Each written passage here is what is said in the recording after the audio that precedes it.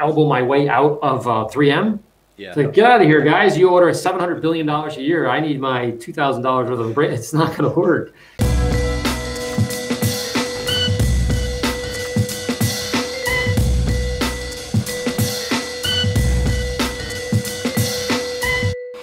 Hi, welcome back to Detailing World. In this video, we've got an interview with Larry Kosilla, the owner and founder of Ammo NYC. So over to you, Larry. Can you tell us a little bit about yourself for those who may have not watched you or know who you sure, are? Sure, sure. No, I appreciate being on. This is awesome. Very exciting. Uh, I love what you guys are doing over there.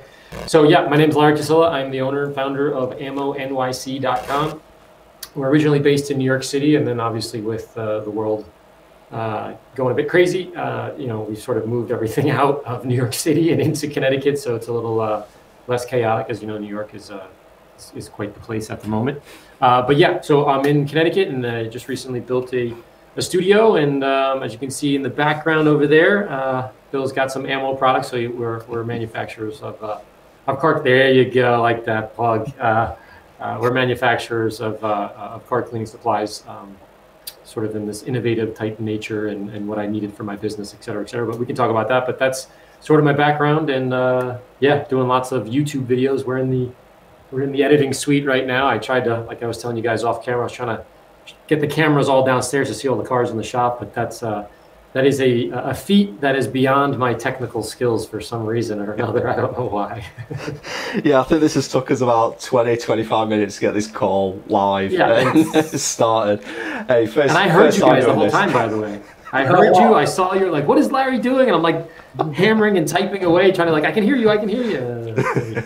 came up here. This this computer seems to be working. So there you go. The next point that we were we were looking at is what actually got you into detailing. Sure. Um, it, it's a bit of a weird story. H- how are we on time, sort of situation? I can do the quick version. I can do the whatever you guys. As long as you want. I'm here. Okay. It's our day's done with now, so I don't know about Bill, okay, but mine cool. is anyway. Pretty much makes sense. So, um, so the, the, the kind of short version, if you will, is my uh, my mother said I was just obsessed with cleaning things, and obviously uh, I was into cars. So the two of them kind of, uh, you know, worked out nicely. I have pictures of me as a child, uh, you know, with my socks all the way pulled up, et cetera, In the '80s, um, cleaning uh, these big, you know, the trucks that you, little cars you get in with the pedals and the whole thing. And I'd just be outside with a wash bucket, and my mom was like, ah, "This is weird, but okay, like, you know, he's a kid; he can do whatever he wants. And washing isn't the worst thing." So I was just kind of obsessed with washing um, forever. So it wasn't like getting into detailing; it was just the cars and the cleaning, yeah. Uh, and then sort of combining them into two. And then I sort of came to the realization when I was working on the stock exchange, you know, the, you know, uh, when it existed in New York City, it's now all digital, but most of it's digital. And, uh, you know, how the, the, good jobs and the fancy education and all these kind of things. And then uh, it really sort of hits you in the face, like what you, what you'd prefer to do with the rest, you know, with the rest of your life. This is as, as a 20 year old kid with the rest of your life. I think I'm thinking, you know, at that level, sort of like, oh my gosh, what am I going to do?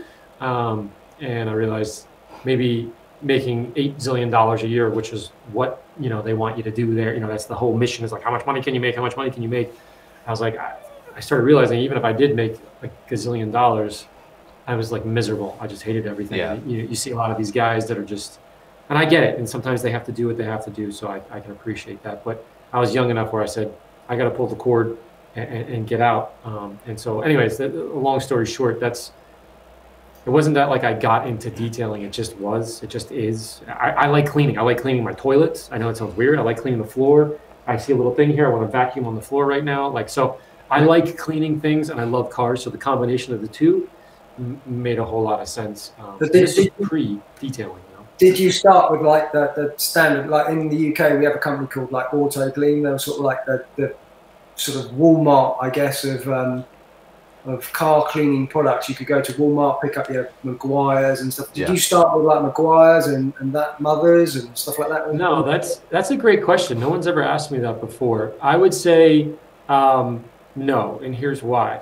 I, I, I probably probably I can't remember. I would imagine Meguiar's, but basically when I started, I um, researched every all the the uh, detailing areas that uh, I was familiar with in my hometown after I left the stock market. Um, and I and I looked at all these different places and I found one that I thought would be the best.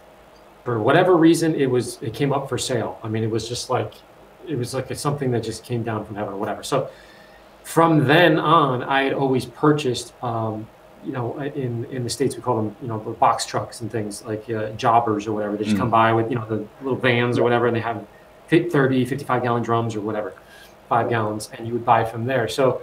Um, I really got hardcore into it at that point, so I never really went to the store and bought things.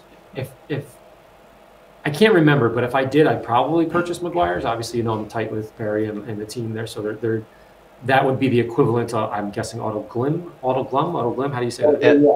yeah. Auto Glim over there. So, um, yeah, I would I would say that Meguiar's is fair, but usually, um, or I really started in the uh, in the manufacturing part of it. Uh, mm-hmm. So I've I've always had like a thousand gallons of stuff around me because my dad was a chemist, my wife's a PhD chemist, so it was kind of like a yeah, it was. It's a weird relationship with the products. They've just always there's just always something here that we're working on and that, that has failed miserably or something. So I have like mm-hmm. a thousand gallons of this thing. I, You know what I mean? So it's like a, um, it's a little bit so of. I guess that like that's how your product came about. You, the products you got didn't do maybe what you wanted them to do, and you decided. Yeah, it's a little cliche to say that. Like, cause a lot of people are like, hey, it didn't work. Like the, products worked great. I just I needed them to do specific things. So like.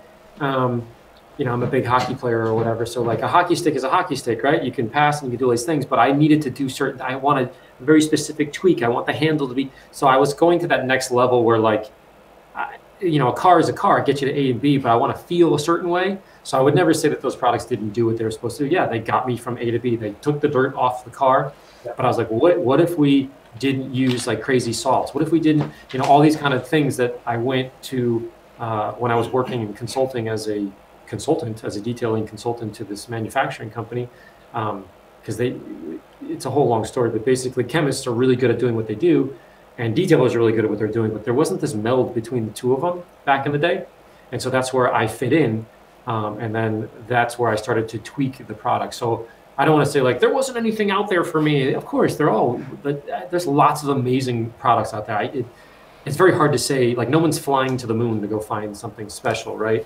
Um, so there's a limited amount of things that we can play with. And then when we go out there and we play with the graphenes and all these other crazy things that are out there, you can start pushing the boundaries a little bit.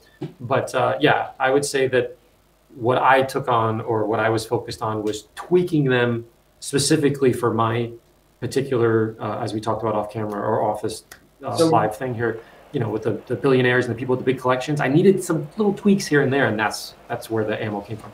So, what was the first product that you decided to develop? Oh, that's a great question too. The first product was the first product was was a tire shine, and so I had all this. I wanted to make a tire shine um, that didn't shine as much as like when you're just using a solvent based, um, which is a carcinogenic. Back in the day, we didn't know that that was a carcinogenic. You know, you would spray that on there, solvent based, and it was just like slip and slide the whole thing. You guys know that, you know that story. Um, so I wanted to make something that was remove that because my wife you know, was the first one who was like, "Hey, this is a carcinogenic. like, I don't care how shiny your cars are, or wheels are. You got to get this out." So um, I removed that, but then you're like, "Well, you can't take a, a, a salt. A, um, uh, I'm losing the word emollient. I think of the word I'm looking for, and a water and a water base, and it's very hard to get those to, to mix, right?"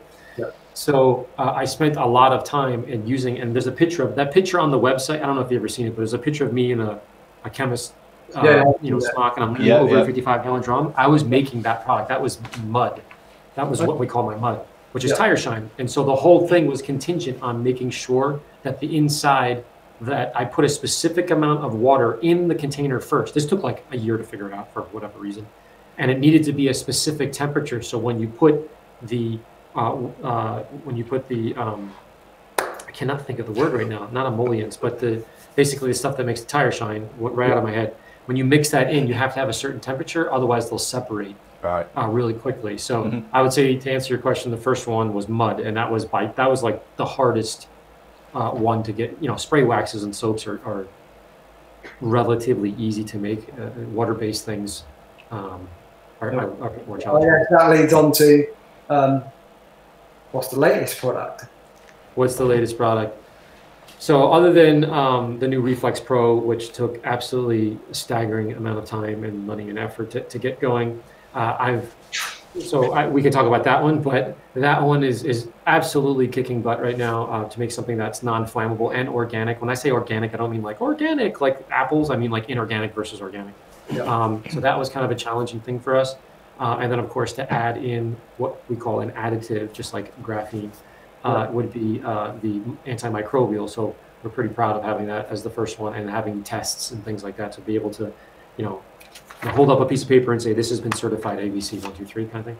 Um, But in terms of the next one that's coming out, I mentioned it earlier in one of my videos. It's called uh, uh, I called it Blush, but I think we're going to change the name to Cream Pro, which is basically a Carnauba like uh, application process, but it's a Reflex Pro, but in a in a very small. It almost looks like a blush jar, like you know your wife, girlfriend, or whatever put on. Um, and so the argument back and forth is, if you have a coating on your car, why would you put that on there? And so this is going to be a little bit of a controversial, uh, controversial uh, product because I'm saying, do you need it? No, you absolutely don't need it. But like, I'm obsessed with doing something to my car on like a weekly, maybe Yeah. bi-weekly, where I'm like, okay, like, like I got to go in the garage and just like chill for a second, and my brain processes in the background a decision or whatever I'm trying to do. So this is basically paste wax that has the the reflex infused in it. And so, uh, do you need to do it? Probably not. But when you're putting it on there, you are, you know, fortifying what's underneath it, rejuvenating it, all that stuff. And at the end of the day, it's a cathartic type thing, and it makes your car shiny like crazy. So I'm not, I'm not pretending it's anything other than that. So that's that would be the next product that's coming. But I guess that's why a lot of people get into the detailing though. It's not just about getting your car clean, it's getting away from the No. misses, getting away from work, getting away from whatever for a few hours on a Saturday or a Sunday, just It's the enjoying some time with your car. Yeah, Yeah. it's it's a, it's something to bring you joy, and if in the act of doing that, you're cleaning your car and maintaining its value and all the practical things. Detailing to me is almost 50-50 practical and impractical. It just doesn't make any sense. Like, why would I like the car downstairs? I wish I could do this downstairs with you guys. You can see all the cars behind me. My car's immaculate, but before I leave, I'm um, sort of donating my car, not donating, uh, loaning it or whatever you want to call it, to a museum tomorrow Mhm. uh, up in the States here. So for the winter, it's going to a museum. Okay. The car's immaculate. I'm going to clean it before I leave just as like a, Just kind of a little bit like it's weird. I got a weird lump in my throat because I feel like I'm giving it away, but I'm not because it's still mine. I'm letting it have it. So it's like this weird, I, I'm doing it for, to say goodbye or something. I, I don't know. Yeah. You get what I'm saying? It's, it's not a practical reason. Yeah. Yeah. So So, and how do you come about like developing a new product? What, what kind of your mindset about? Do you just sort of like literally look at your car and think, "Mm, yeah, I need something else there, or No, I, I- I would say, you know, the, the brilliance of making a product, which a lot of people do, and I haven't quite figured out yet, is to make something that, uh, you know, as they say, you have to remove, you got you have to remove things. So I think adding more products, meaning 17 different versions of spray wax or something. I'm like, I, I don't even, I, I don't use it in my business, so I don't know how to, how to justify that, but I understand. So I like to remove as much as I can. So sometimes when I come out with a new product, I try to remove an old one that maybe didn't work or whatever. Mhm. Um, so when I come up with a new product to answer your question, it's more of a, it's on a need basis, right? So think about it, like window cleaner. I used to make a ton of window cleaner, and uh, it was so smelly. And I, I used to do it in five gallon, these five gallon jugs on the floor. I remember doing this, and my mom came in one day uh, to the th- to the factory where I was working, and I said, "Oh, hey, mom," I went like that, and I told the mask like that, and then I looked back over, and the fumes from the ammonia came up and hit me, and I, I passed out, and I hit the ground because I. So what am I saying? I'm saying it's easy to make products, but it's hard to make them um, useful or different or better, for the lack of a better word. Um, so sometimes I just don't come out with it. Again, window cleaner. I, it's hard for me to compete with window cleaners because they're incredibly cheap. Yeah. They're all basically do the same thing, and they're all great. They're like, why, why would I come out with something else if it's already great, right? Abrasives is another one. How come you don't come out with an abrasive anymore? I was like, truth of the matter is, I can't get the the, the best abrasives possible. I can't. When I'm going to elbow my way out of uh, 3M, Yeah. like, get out of here, guys! You order 700 billion dollars a year. I need my 2,000 dollars worth of abrasives. It's not going to work. Um, so that's why, you know, Rupes and Meguiar's and companies like you know larger ones, they can they can make stuff like that. So Yeah. I really look at it and say, what do I really need, and can I make an improvement on it? Because if I can't, it- you know, Right. it's So ceramic important. and graphene not in your mix at the moment. Uh, yes. So of course, um, you know, like anything else, you have to be careful about what you say. But uh, before I say things like that, which I didn't in the past, so I'm comfortable saying it now. With respect to graphene, there is no way I'm saying uh, that it's it's it's not good, and you know you shouldn't buy this. But I, I go like you know to each his own. That's totally cool, and don't listen to me. I have my own product line, so obviously I'm biased to my product line. It's completely logical, I think from what I've read and from what I've learned and from the people that I pay to help me understand things that I don't understand, meaning the really, the, you know, these uh, graphene, graphene in, particular, from what I have in actual writing um, from PhD chemists, three of them, um, you know, I can, I read it on camera before, I'm happy to read it again, but basically they're claiming, uh, and I can understand their logic right now, that it is more of a buzzword Yeah, yeah. because to get graphene in a particular to make it feasible on paint it's it's entirely too thick for it to have the characteristics from what i understand uh, to benefit those character have the benefit of those characteristics on your car. So you then have to water it down. As you water things down for the lack of a better i mean you thin them out. Mhm. uh, you're getting down into like one micron i mean uh, one atom thick and you're like, like i don't even understand how can one atom do those things? So really um, it, it kind of boil, it boils down to it's changing the color meaning it's becoming like a it's more of a powder now and it's changing the color from clear to brown to black so people immediately think marketing right? Yeah. and then a lot of the times it's the resin that's actually doing the hydrophobic or creating the hydrophobic nature to the product. So there's a bit of marketing behind it. Does that mean that graphene doesn't work? There may, there may be there there may be characteristics but it's right now it's it's it's like this with the resin. It's so intertwined you don't know what's the graphene and what's the resin. And typically what we're looking at the way that we interpret it is it's the resin. And then you have an additive. So it's not really a graphene coating. Like my coating isn't an antimicrobial coating. It's a coating with an additive of antimicrobial. It's a coating with a graphene additive. Mm. and so we're just saying what's more important at least in this day and age covid all the things graphene or antimicrobial? Yeah. Yeah. six and one half dozen in the other. So i would say to answer your question right now until the chemistry changes which it i mean it could change tomorrow. I have no idea. I, I have no plans of putting graphene. I'm gonna i like to sit back and look and do the chemistry and be like uh, let's see what's going on. I don't want to be the first one to, to be out there on something like that. It's too it's too crazy for me.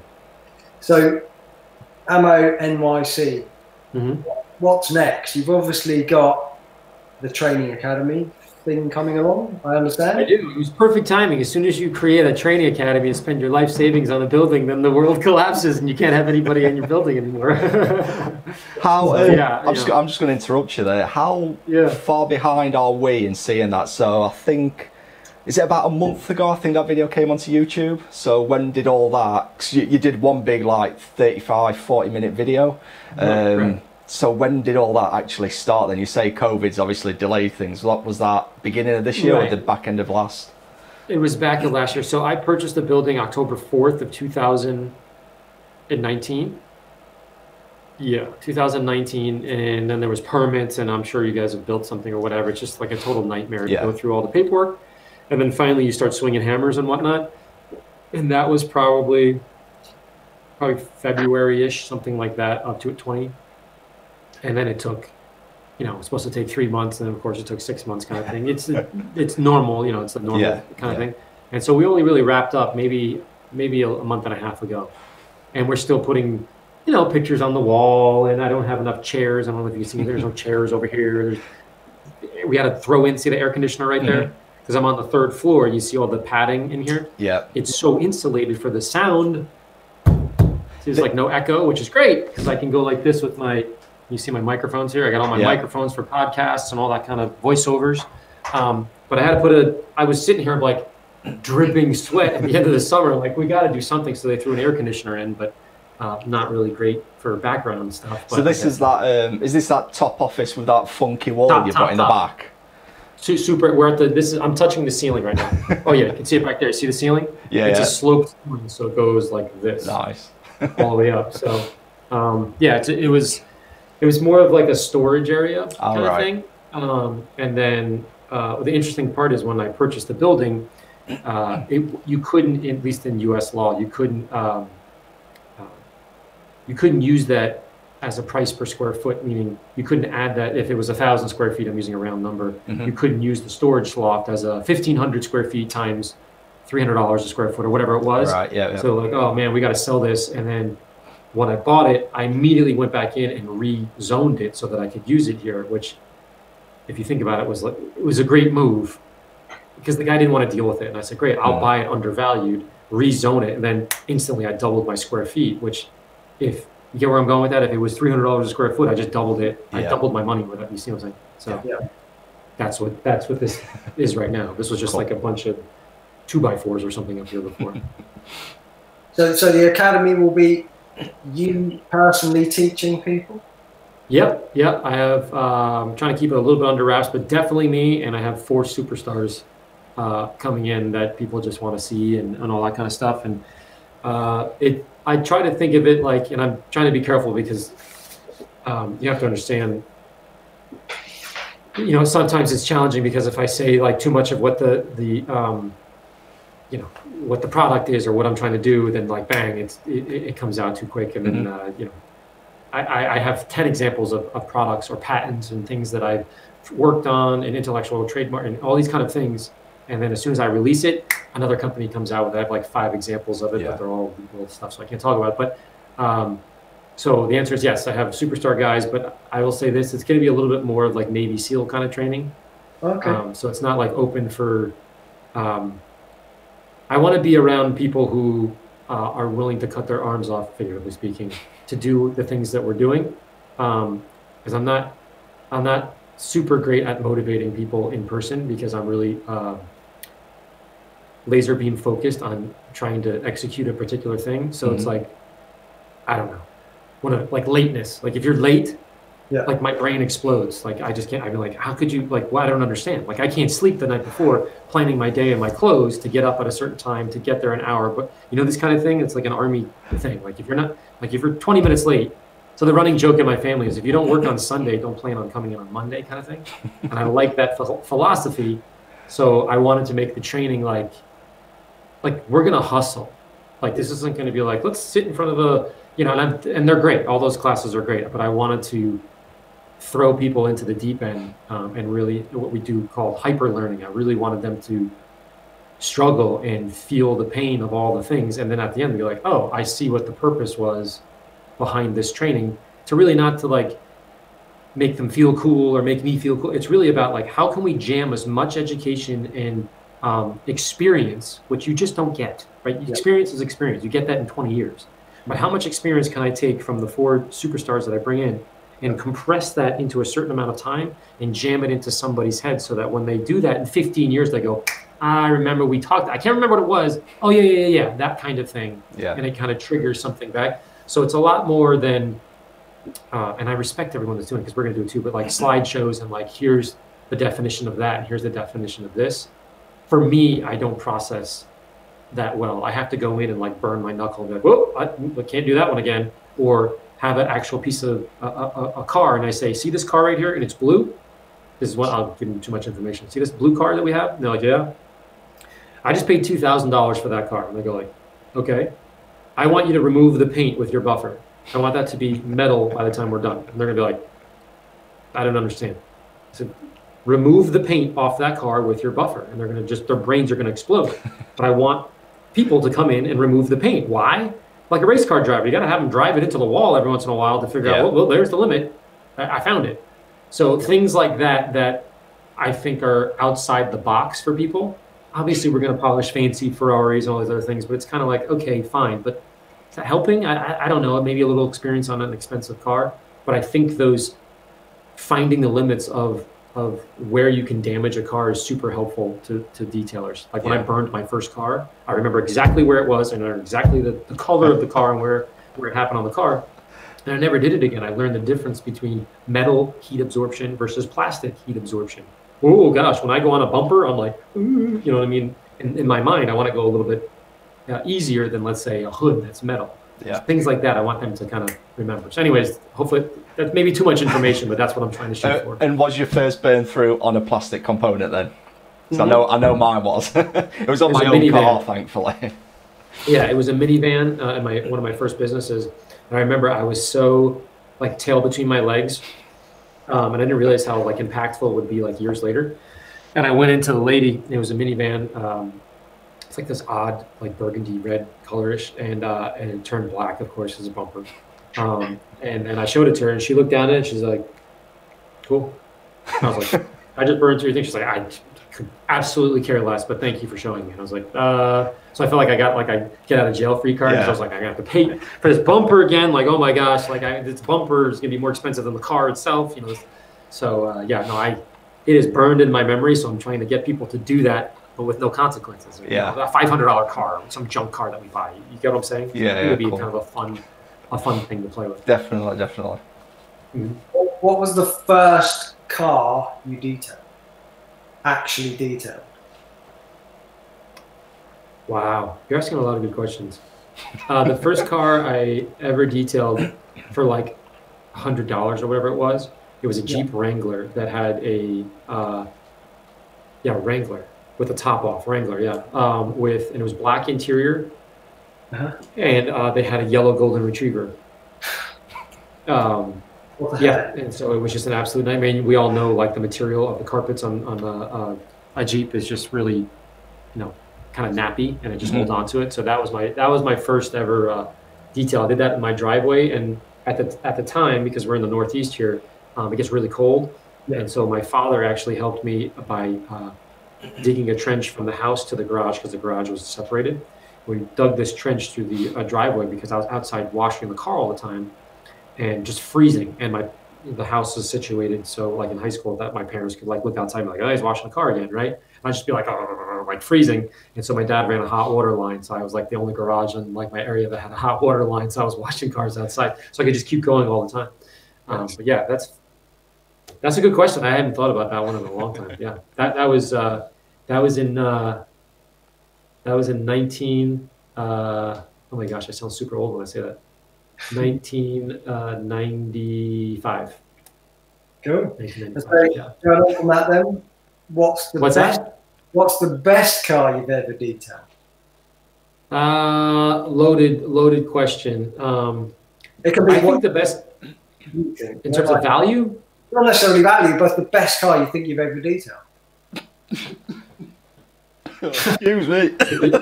You're right there, buddy. I'm fine. all right, good. Let's yeah, go. Maybe, maybe a Jeep might be your best. As far as you're That, that might be. He's making me sweat right now. You're right. Uh, you, you breathing okay? We need I'm to call fine. somebody. I'm fine. All right, good. Um, I would say. That